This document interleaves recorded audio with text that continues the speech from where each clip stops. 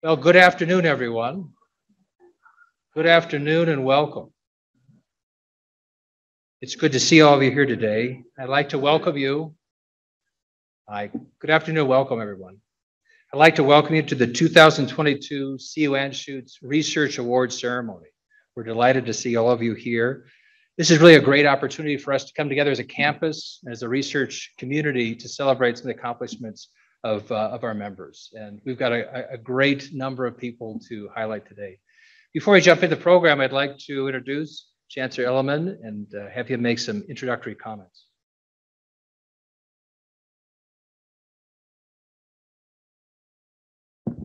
I'll be brief because the, the, the, main event of this is for you guys, not for me. You know, if, if you think about it, we have three main missions on this campus, clinical care, research, and education. And if you view that as an arch, uh, I would argue that the keystone of the arch is actually research. Um, it's the it's the element of R3, and it's often combined with the other. It, it almost always is combined with the other two, but um, it's the element of the three that really attracts the talent uh, across the board, not only in research but also in, in the clinical fields. And so, in, in, I don't want to over, um, overweight the emphasis on one or the other, but I think research is what makes us special. It's it's also the the brand differentiator we have uh, with our competitors in the in the marketplace, uh, and it it really defines who we are, and we're doing pretty well. I mean, last year uh, we got almost 700 across the campus, all the schools, almost 700 million dollars in new research awards, up I think it was eight percent from the prior year, which is a heck of a number. I think if you if you'd looked at that number five years ago and said we'd be there, I think most people would have said I doubt it. So you you all, not me, you all have done an amazing job. And and I think having an event that celebrates not only the research that you do, but also recognize the talent that you bring to this campus, which is the foundation of who we are, uh, is a great idea. And I want to thank Tom and Lori for coming up with it. And and I hope uh, I hope the award ceremony is fun for everybody. So thanks very much.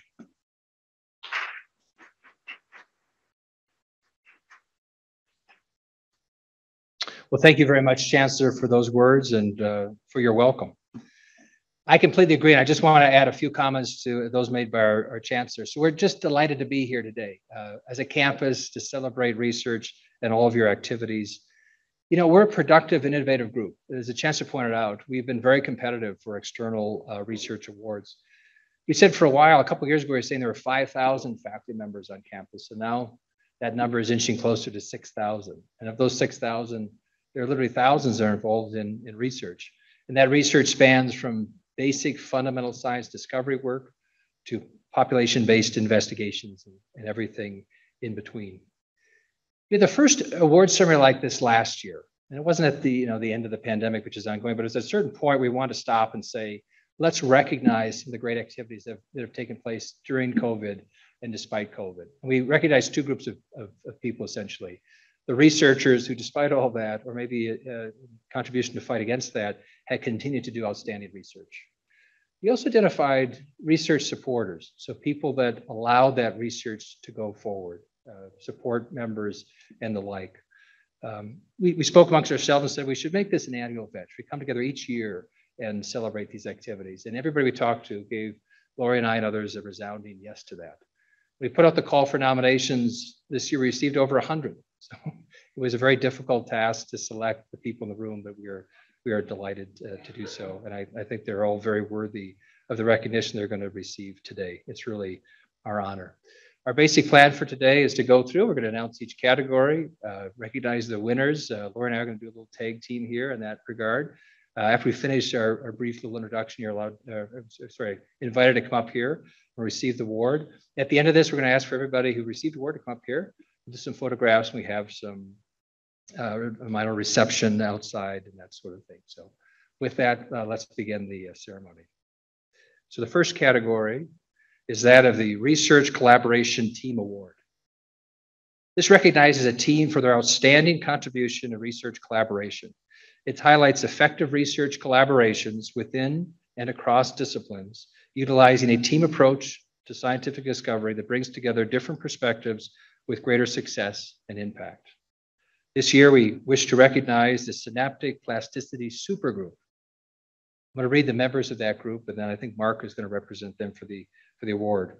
Jason Aoto, Uli Bear, Timothy Benke, Mark Dell'Acqua, Fabrice Dabertrand, Christopher Ford, Jasper Heinsbroek, Paco Herson, Matthew Kennedy, Juan Chan O, Jamie Peters, Nidia Quillinan, William Sather, Catherine Smith, and Chandra Tucker.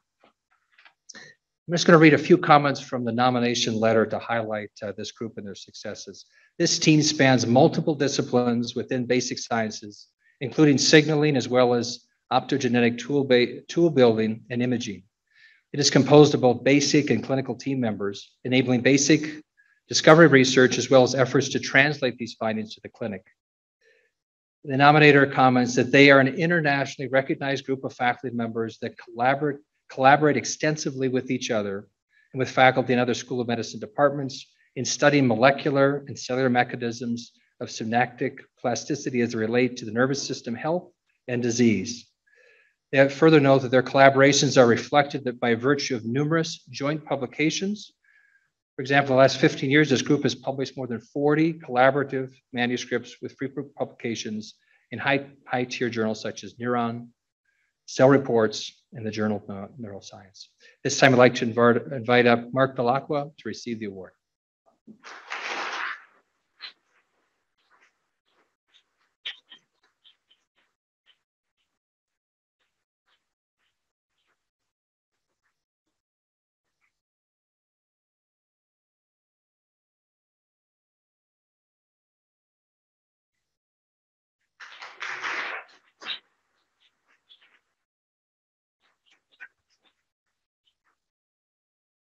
Okay, we're following that up with the Rising Star Research Award.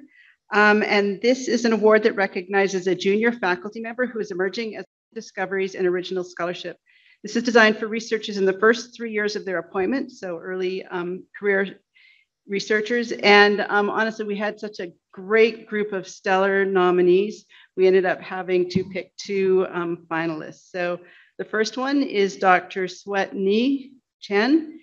Um, she is in the um, molecular genetics program and um, at the University of Colorado Cardiovascular Institute. Um, impressively, in the short time since Suet Nee has joined the faculty at CU, she's a, a, been um, established her own research program and she's received three major awards um, the American Heart Association Career Development Award, the Webb Waring Boettcher Biomedical Research Award, and the Ludeman Center Women's Health Innovation Scholar Program Award. She's established a very productive and independent research program, and recently she published a very important paper that was dissecting the biological mechanisms of filamin C mutations, which causes a life-threatening heart disease using IPC-derived cardiomyocytes. She's clearly one of our rising stars on campus. So please join me in congratulating Suet Nee Chen.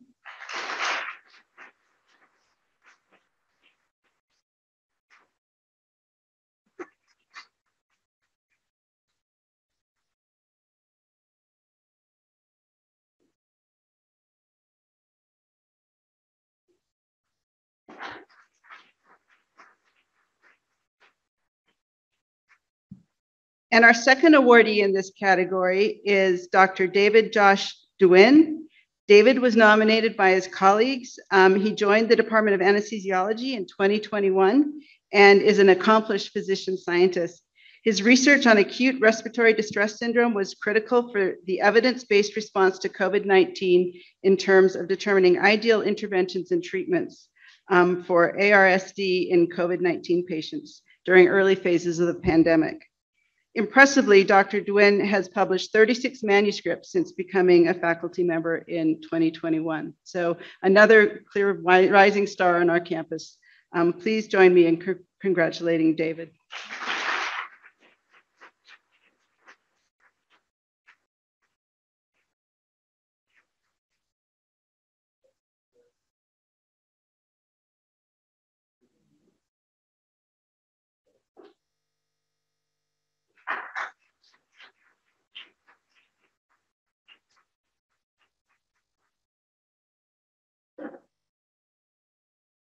Okay, so for our next category, well, it's fairly exciting here. Everybody's lined up and this is wonderful. So our next category is the Faculty Research Excellence Award. This award recognizes the faculty members' accomplishments for their excellence in conducting research and scholarly activity that is highly original and makes a significant contribution to the field. It's intended for faculty who are positively contributing to CU's culture and are acknowledged as leaders in their field. Today we're recognizing Dr. Manisha Patel. So to read from this nomination, uh, the nominated notes, Dr. Patel is recognized internationally as an outstanding researcher and a leader in her field. Further, Dr. Patel's contributions in the field of oxidative stress and mitochondrial metabolism and toxicant induced brain injury and epilepsy have moved these fields forward substantially.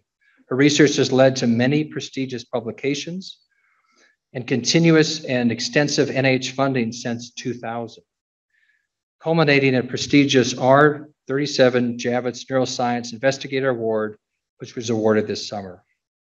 We'll also note that Dr. Patel has also been extremely active in mentoring both her PhD students and postdoctoral fellows in the toxicology and neurosciences training programs at CU Anschutz. Her dedication in pursuing grant support for students to pursue their studies, and particularly for their support of underrepresented students via supplements, fellowships, and training grants, has been particularly impressive. Please allow us to welcome Dr. Patel.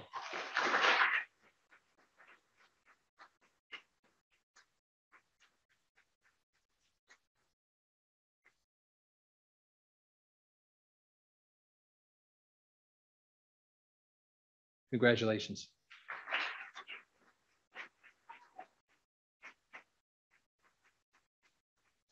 A little wild in here, that's good. Uh, so next we want to recognize in the same category, Dr. Kelly Doran. So Dr. Doran is a professor in the Department of Immunology and Microbiology. Her research focuses on bacterium group B streptococcus, a leading cause of neonatal meningitis and infection in immunocompromised adults. She currently holds multiple NIH grants. Furthermore, Dr. Doran was awarded a CU System AB Nexus grant in collaboration with Aaron Whiteley at the CU Boulder campus to study cyclic dinucleotide signaling and type 1 interferon response. Dr. Doran has successful collaborations with numerous individuals at CU Anschutz, including Dr. Horswill and Dr. Jerkop in the Department of Immunology and Microbiology, Dr. Siegenthaler in the Department of Pediatrics, clinicians Dr. Garrett Moore and Eric Schmidt in the Department of Pulmonary um, Sciences. These diverse collaborations demonstrate her research interest and commitments to the CU com community. Collectively, Dr. Doran is noted to be an, have an outstanding research publication record, obtaining funding, and inspiring the next generation of scientists. Dr. Doran.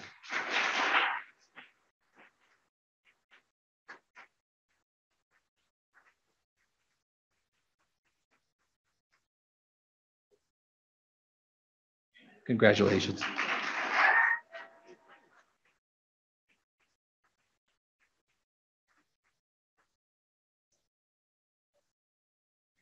Okay, our next award is for Research Faculty Collaborative Award. And this is a really important award. Um, it recognizes individual faculty members for their outstanding contribution to research collaboration on campus. And specifically, it highlights effective research collaborations within and across disciplines, utilizing cooperative approaches and teamwork to address challenging scientific questions.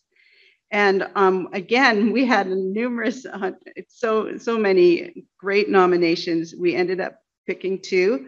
Um, the first one is Dr. Amy Huebschmann. And uh, Amy was nominated by her colleagues, um, Dr. Mark Earnest and Lisa Schilling. Amy is highly regarded throughout the university and beyond as an effective collaborator. She excels at promoting health equity by leveraging community engagement and invest, investigator collaborations. Specifically, she joins together staff, faculty, and trainees with, within and across multiple disciplines to raise awareness and to implement best-in-class healthcare solutions. As a multiple principal investigator, Amy co-leads an NHLBI-funded Decipher UG3 Award and seeks to reduce health equities in pediatric asthma. Amy currently also serves as the lead um, implementation scientist for multiple studies um, funded by the National Institutes of Health. Um, so please join us in congratulating Amy.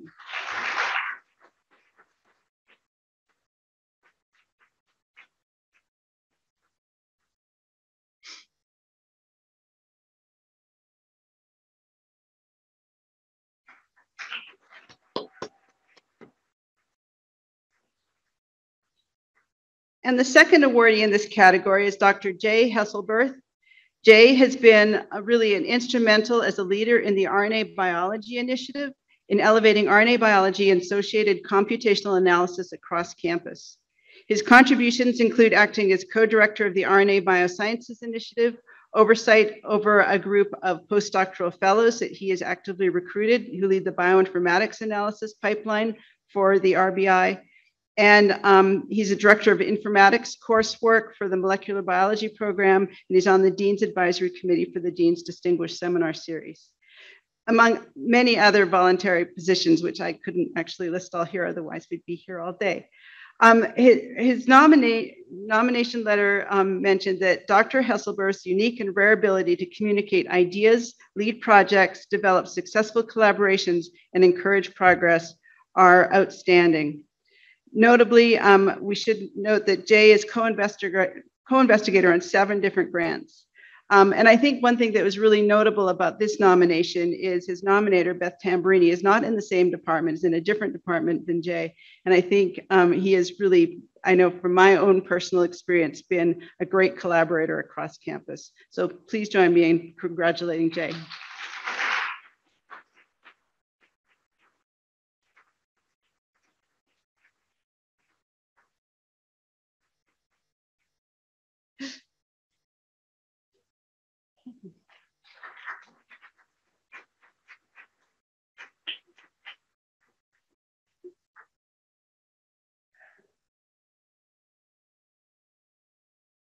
For our next category, we're going to talk about Research Staff Collaborator Award. This recognizes an individual staff member for their outstanding contribution in research collaboration.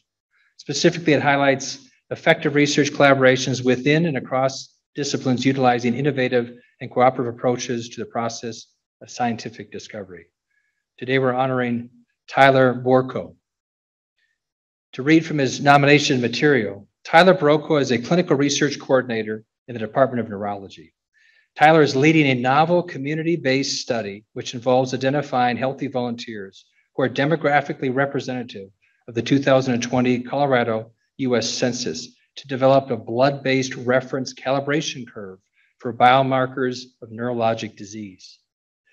Tyler identified community organizations who are willing to partner with us while amassing a team of coordinators to staff these events, often on weekends or in the after hours, in working with individuals to coordinate these blood draws and other assessments.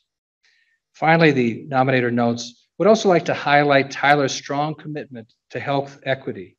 Tyler is helping the Department of Neurology's diversity, equity, and inclusiveness team assess stroke preparedness and awareness in the African immigrant community and beyond. With that, let's welcome Tyler to the front.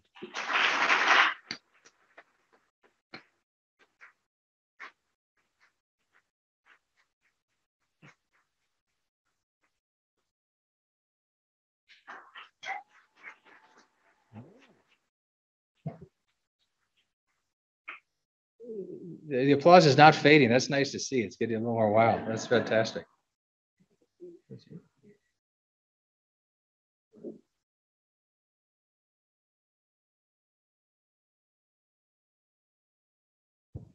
Okay, the next nomination is for the Research Administration Award, and this award recognizes an administrative staff member who consistently goes above and beyond to advance research excellence and keeps operations running smoothly across the University of Colorado Anschutz Medical Campus. And um, it's really a pleasure for me to say this award was um, for Michaela Montour, who um, was nominated by the Cancer Center leadership in a really amazing letter that they wrote. Um, Michaela joined the Cancer Center team in 2002, and due to her excellent administrative leadership skills and her exemplary work ethic and exceptional personality, accelerated her career from the grants manager to the director of the Cancer Center administrative team. Um, she and her team, I think we need to acknowledge both of them, played um, a critical role in the latest Cancer Center renewal. And um, her letter also indicates that um, not only is she a great administrator, but she um, is an incredible colleague. Um, and her presence is simultaneously calming, energizing. She radiates efficiency, competence, and collegiality. Um, they also mentioned that she has a positive and constructive assertiveness and approaches her job with an attitude that is full of life and demonstrates to everyone that nothing is impossible if you have determination, skills, and success, and, and determination, skills, and work as a team. Um, Michaela is, um, I think, one of the items in the letter noticed that although sometimes we think people on our in our campus are are not irreplaceable, they say Michaela is irreplaceable for the entire operation and success of the University of Colorado Cancer Center. Um, I have to say, in my role in the um, Chancellor's office, I've had the pleasure of working with Michaela, and I agree that this award is very, very much deserved. So, Michaela, congratulations.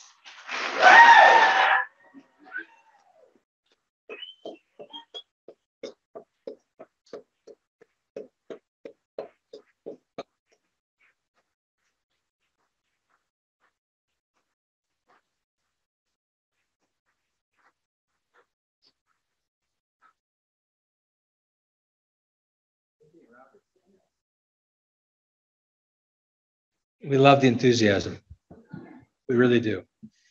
All right, the next category is Trainee Research Excellence Award.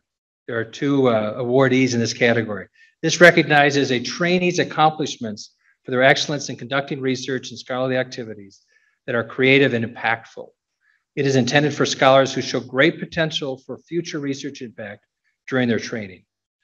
The first awardee is Michael Schaefer preemptive cheer again. Fantastic. Okay, uh, reading directly from the nomination letter, Michael is a superstar. He is truly brilliant, incredibly hardworking, and tremendously productive. He earned his PhD in bioengineering with post- postdoctoral work on MRI and CVD here at CU. He then chose to go to medical school to become an MD PhD. Michael received an abstract scholarship at the American Thoracic Society and a Young Investigator Award at the AHA meeting. And he has 55 publications since 2016, 25 as first author, including a recent first authored paper in circulation, reporting entirely novel results regarding MRI detected early aortic abnormalities in youth with diabetes. Reading one more excerpt Michael is also all around hardworking and a, and a genuinely good person. He easily crosses disciplines and is adept at communicating across the board, whether with, whether with an MRI technician or a cardiac surgeon, with ease and with a dry sense of humor. Coming from a technical background, I admire his ability to integrate and connect with the staff and absorb knowledge from his clinical collaborators. It says something that staff and faculty seek him out to get lunch, whether to talk about the latest research or just to catch up personally. Let's welcome Michael to the front.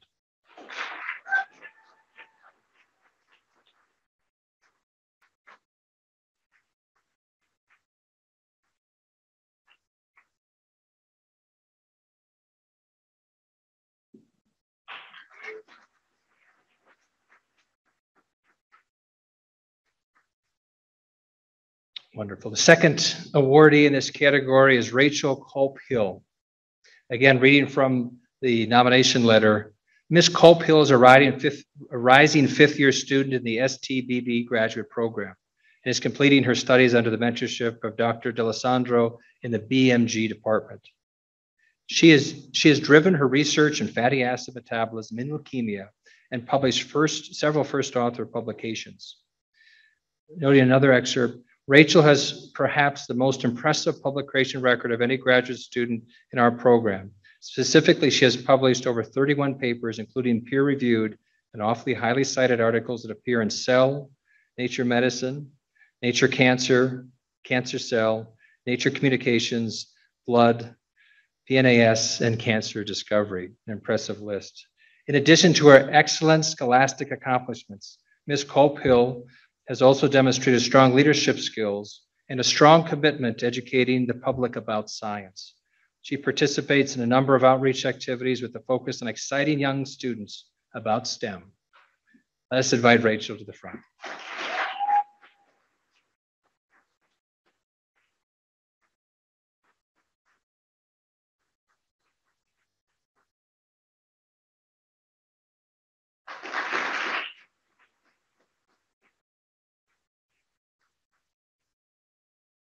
Okay, last but not least, we have the Research Mentor Award, um, which recognizes members of the CU Anschutz Medical Campus for their dedicated and extraordinary efforts to mentor others in their research and, and medical careers.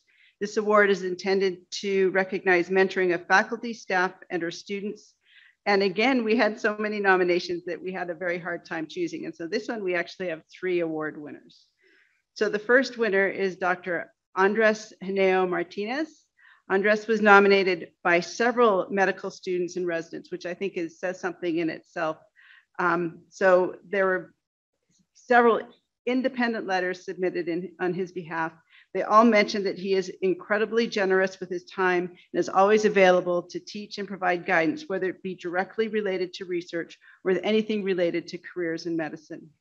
In addition to, take, in addition to taking significant time for teaching and making a large research study more manageable, one of his trainees said he provides other opportunities for learning, such as working in the ID clinic, editing papers of other researchers in the group, and presenting at national um, conferences.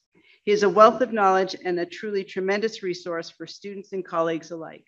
So congratulations, uh, Dr. Martinez. Please come up.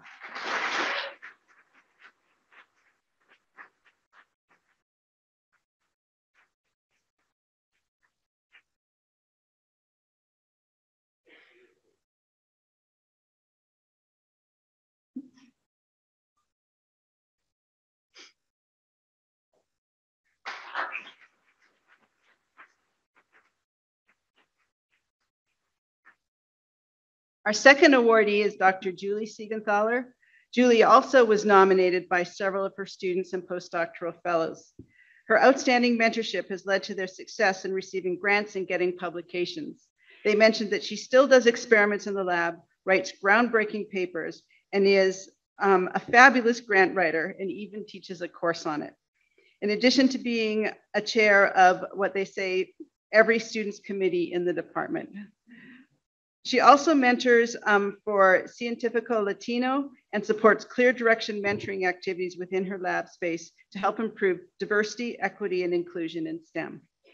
One letter noted, our productivity, happiness, which I thought was really important, thriving scientific careers, invitations to present at international conferences, and a deep understanding of our project is only made possible by Julie's tireless dedication to us, constant inspiration, support, and thought-provoking conversations and a brilliant mind. So please join me in congratulating Julie.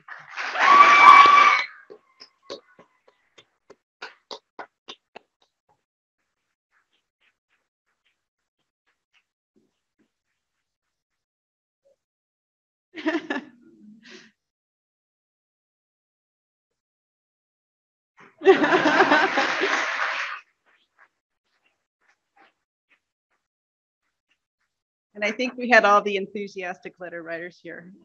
Thank you. Um, and last but not least, Dr. Marcella Pereleon. I'm sorry if I mispronounced that, Preon.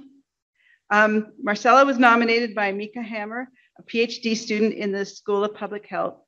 Um, she said one of the most noticeable aspects of Marcella's mentorship style is his generosity with his time and genuine care and interest in student-led research. His availability is unparalleled compared to other faculty she has worked with, and he is always quick to respond thoroughly and thoughtfully, often in more detail than the initial question would imply. Mika also noted in her nomination letter that um, Marcelo far exceeded my expectations for mentorship during the COVID 19 pandemic. His willingness to engage in the conversations that mattered most in the moment has been a lifeboat for me.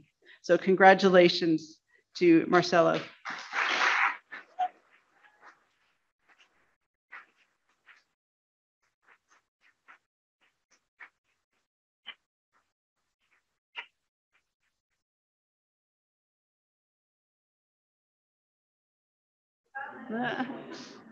Here's a little mark over here.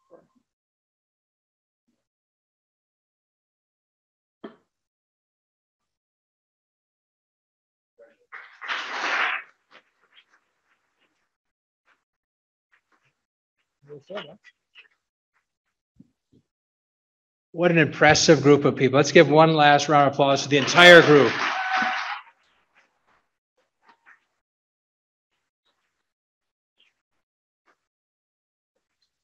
Now, I, I, think this has been a wonderful event. It's a chance for us to come together as a campus, as a research committee, and celebrate some of the great accomplishments of our members. And as, as we talked about each of these individuals and team, you can see really great work everybody's doing. Uh, these are individuals who contribute to our scientific community uh, by their work, supporting science, collaborating, and supporting the, the next generation of trainees, which is very important. I'd like to just say a couple of quick thank yous before we wrap things up tonight. I want to thank all of you for your participation, your uh, enthusiastic participation, and for being here uh, today. I want to thank those that uh, helped make this possible. In particular, Lori Sussel, who uh, led many of these efforts, and uh, this would not have been possible. The committee that helped with the selection, our uh, friends in audiovisual, they made this work. Michelle, Natasha, Shayla, everybody else in the committee that's done that. Um, we plan for another great event next year, so be watching for the nomination periods. Hope we get another large number of those.